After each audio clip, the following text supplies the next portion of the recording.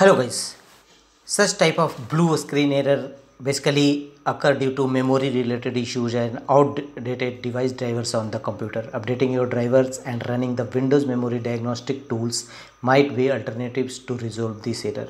And here uh, this in this video we will bring various workarounds to resolve this issue and the first workaround to solve this issue is go to Windows search type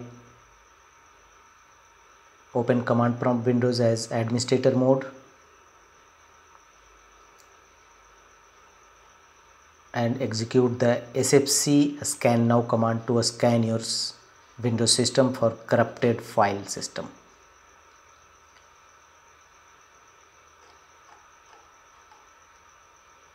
Once the scanning of your windows 11 10 system completed then uh, also run dism tools to check your system health and restore health. If any issues scan this execute this command one by one and followed by enter key. The all these three commands will be executed in cmd command prompt windows one by one followed by enter key and check whether your error is resolved or not. If not go to the next fixes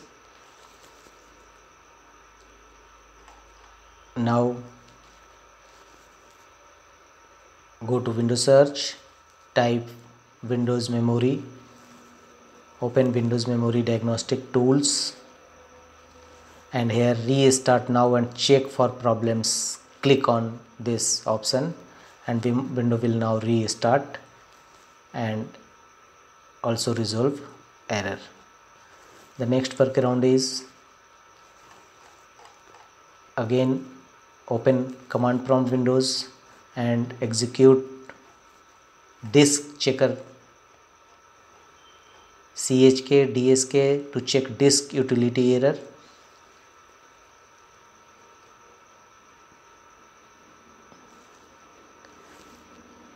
Copy this and paste in command prompt windows press enter. It will check your disk and if press yes and the next workaround is update your driver. Right click on start button choose device manager. And in device manager windows look for any driver installed in your system having yellow color exclamation mark.